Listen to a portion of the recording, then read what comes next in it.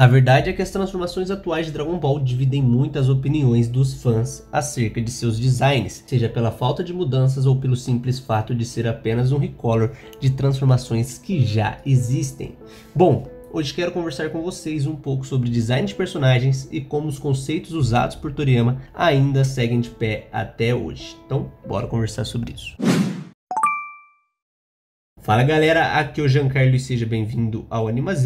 Fazia tempo que eu estava querendo trazer esse vídeo, eu até tentei já há um tempo atrás fazer isso com quando saiu as transformações do Gohan e do Piccolo, mas isso aqui é explorando um pouco mais de conceito de transformações, de design de personagens aqui desse tema que eu queria já tratar com vocês, tá ligado? Se você é novo por aqui, gosta desse mundo de animação, de anime, de Dragon Ball, se inscreve para não perder mais, tá ligado? Se inscreve, deixa o like para ajudar comenta o que você tem achado das transformações atuais de Dragon Ball. Realmente são sem criatividades? Muda um pouco? Poderia ser melhor? Comenta aí que eu quero saber. Então bora lá, bora explorar acerca desse tema que é bem interessante, é bem interessante é, como Toriyama explora essa questão do design de personagens atualmente. Bom, dentro do conceito da área de design de personagens, eu acredito que seja consenso geral de que a função específica desse tipo de profissional, o cara que vai é, fazer o design dos personagens para um anime, para um filme, para um jogo, é atuar ali na definição das características físicas e estética dos personagens, com o objetivo, claro, destas características estarem alinhadas com a função da narrativa.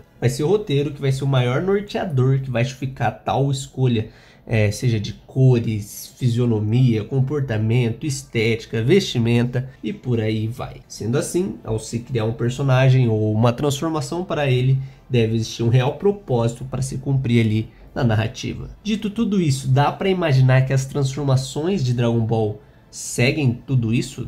Dá para encaixar nesse conceito de design de personagens? Bom, e a resposta é sim. A gente gostando ou não, imagino que o Toriyama é mestre seguir esse tipo de conceito para as criações de seus personagens ou transformações, seja para o Super ou seja ela ali para o Z. Mas será que verdadeiramente existem justificativas para de fato as transformações serem do jeito que elas são hoje em dia ou no Z mesmo, né?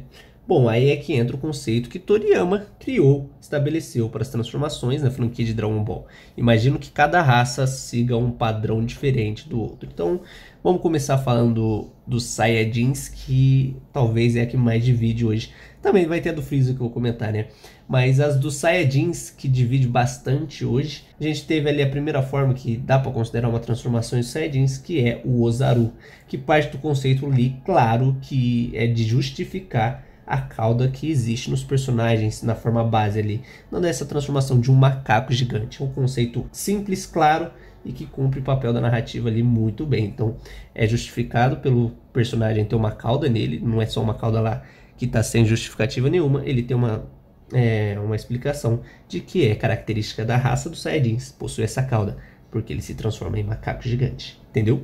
Agora, talvez a primeira transformação de fato, né, que é o Super Saiyajin, a partir dela vai estabelecer que qualquer tipo de mudança física ou de poder do personagem ali vai reagir de maneira prática ali no personagem, vai mudar o seu cabelo, seja a cor ou o volume dele. O cabelo ou os pelos dos Saiyajins vão se adaptar de acordo com a aura do poder que esse Saiyajin vai despertar. Como a aura do Super Saiyajin é amarela, seu cabelo reage a esse poder e passa a ser amarelo também. E isso vai seguir para todas as outras transformações do Super Saiyajin. O Super Saiyajin 2 e o Super Saiyajin 3 causam mudanças no tamanho do cabelo, no volume do cabelo. Passa a ser um conceito também que foi aplicado também pelo Toriyama nas transformações dos Saiyajins. O que vemos no Super é que o primeiro conceito acerca da coloração mudar foi seguido, onde a coloração do cabelo reage ao tipo do poder. O God possui cabelos vermelhos, sendo sua aura em tons de vermelhos, né? É um fogo, né? Mas tem base de vermelho ali também. O Blue tem cabelos azuis porque sua aura é azul e por aí vai. Eu lembro muito que essas transformações foram criticadas demais nas épocas que elas foram divulgadas, mostradas por ser apenas ali um recolor de outras formas dos Saiyajins. Mas como eu disse, o conceito que o Toriyama estabeleceu foi seguido claramente aqui. Eu lembro também que houve oportunidades de se acrescentar novos conceitos para as transformações dos Saiyajins que o Toriyama iria aprovar, mas não aprovou. Foi lá em Batalha dos Deuses onde o Tadayoshi Yamamuro apresentou um conceito de transformação para o Super Saiyajin Deus, onde ele ia ter um acréscimo de roupas, o cabelo também iria mudar um pouco. É, e o Toriyama simplesmente não aprovou, porque ele foi seguir o primeiro conceito que ele estabeleceu para as transformações dos Saiyajins, que era basicamente ali mudar um pouco da fisionomia do personagem e também a cor do cabelo reagir à aura do poder. Tem gente que curtiu, tem gente que não curtiu. O Super Saiyajin Deus e o Blue também dividem muito das opiniões. Eu quero saber, você gosta dessas transformações? Comenta. Particularmente, eu acho que acrescentar novos conceitos para as transformações dos Saiyajins não seria ruim de maneira alguma, já que é uma nova transformação, um novo é, background ali justificado pela narrativa que poderia ser aplicado aí nas transformações. Mas Toriyama não quis seguir isso e seguir o que ele já estabeleceu lá no início da franquia. Não digo que é ruim, porque era algo que já existia dentro de Dragon Ball. O Gohan Beast também segue esses dois conceitos de acrescentar volume e mudar a cor pelo fato de reagir ao tipo do poder. Por mais que a gente vê ali que a hora dele tem um roxo, um branco, o cabelo passa a ser branco, o que eu imagino por causa da forma Ultimate ali, que a aura é branca, entendeu? A gente vê pelo que o Toriyama divulga sobre essas transformações do Beast e do Orange Piccolo, que ele queria mudar um pouco do conceito ali das transformações dos Saiyajins para esse Gohan. Ele queria dar uma, um aspecto mais de besta, por isso que tem esse nome, né? É uma forma bestial, onde ele até pensou em mudar a cor da pele do personagem eu imagino que também acrescentar garras, né? Não lembro se esse detalhe foi confirmado. Mas ele queria até mudar a pele do personagem e fazer coisas realmente diferentes do que a gente viu em Dragon Ball. Mas, seguindo todas as outras criações que ele já fez para o Super, ele estabeleceu que o primeiro conceito, os dois conceitos que ele fez né, para as transformações dos Saiyajins, seria seguido mais uma vez. Acrescentar volume e acrescentar mudança, reação do cabelo de acordo com a aura do personagem. Bom, não dá para falar que ele está inventando a roda ou ele está sem criatividade, porque é isso que ele estabeleceu desde o início da série, certo? Agora a gente passa para o Freeza, que aí tem um novo conceito aplicado aqui nas formas dele.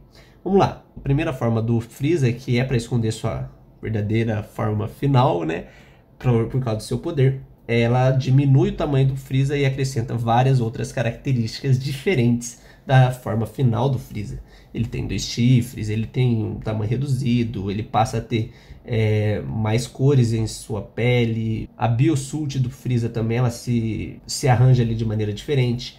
A segunda forma do Freeza também aumenta ele, não muda tanto em relação à primeira, porque basicamente só aumenta a estatura do Freeza. A terceira forma vai mudar demais o Freeza, vai dar outra silhueta ali para ele, outro formato. Realmente é um novo personagem ali. Se falasse que esse é um novo Freeza, o irmão do Freeza daria para enganar.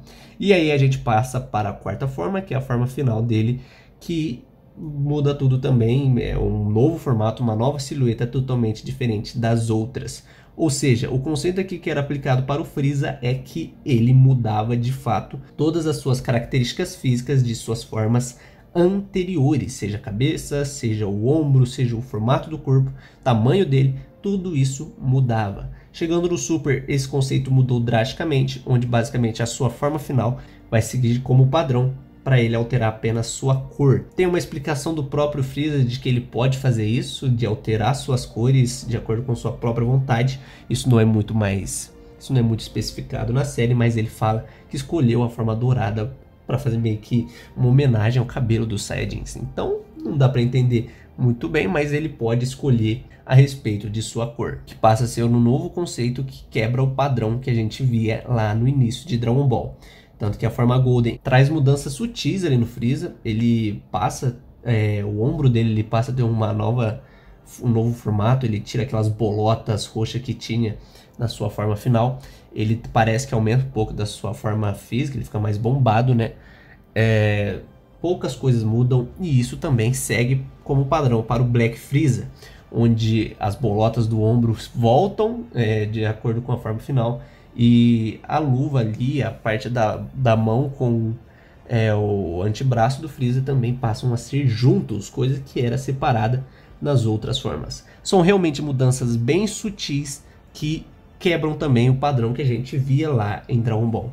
E aí eu vejo o problema total que existe. Diferente das formas dos Saiyajins aqui que eu trouxe para vocês, que existia um conceito já aplicado na série desde o seu início, a transformação, as transformações novas do Freeza, elas criam novos conceitos de Recolor que basicamente são usados nos Saiyajins coisa que eu acho zoada demais, já que quebram o conceito lá do, do início de Dragon Ball e implementam outro conceito de uma outra raça aqui na raça do Freeza. Então eu acho zoado. Acho que o problema atual hoje das transformações de Dragon Ball seguem pela padronização que existe de apenas trazer recolors e mudanças sutis ali para os personagens, sendo que é, esse conceito, principalmente por Freeza, já era totalmente diferente, velho, totalmente. É, a gente vê que no Piccolo o Toriyama também seguiu essa questão do recolor, mas existe ali mudanças físicas no Piccolo verdadeiramente. A cara do Piccolo é totalmente diferente da sua forma, da primeira forma, né? E até da segunda forma lá, a forma amarela que ele chama. É, a estatura, o físico do Piccolo muda totalmente e existe um conceito justificado pela narrativa dele ser dessa cor. Então, assim, eu imagino que as transformações atuais poderiam ser de fato melhores, mas tem casos de justificativa que a gente pode dar aí. As Saiyajins seguem os conceitos que já eram usados em Dragon Ball Z. A do Freeza, ela realmente cria um novo conceito que é utilizado já na, na raça dos Saiyajins, o que eu acho zoado, sendo que no Z a gente tinha realmente mais mudanças físicas no corpo do Freeza. E daria para fazer muita coisa com é, essas transformações do Freeza. Talvez seja o personagem que mais abra leque é, para as mudanças físicas realmente do personagem, mas isso não acontece. E o Piccolo que a gente vê é que é um novo conceito para uma nova raça, onde a mudança física, mudança de cor também existe. Bom, deixa aí a sua opinião nos comentários que eu quero saber o que você pensa a respeito disso, sobre os designs atuais que as transformações de Dragon Ball seguem. Deixa aí que eu quero saber. Bom, é isso, nos vemos no próximo vídeo. Até a próxima. Fui! Para transformar o mundo o universo e até mesmo esse planeta em um paraíso muito mais belo. Sigam nossa página, Eterno Guerreiro Z. Aqui você fica por dentro de todas as notícias e tudo o que acontece no universo Dragon Ball. Convide seus amigos inúteis e ajude a nossa legião a crescer ainda mais.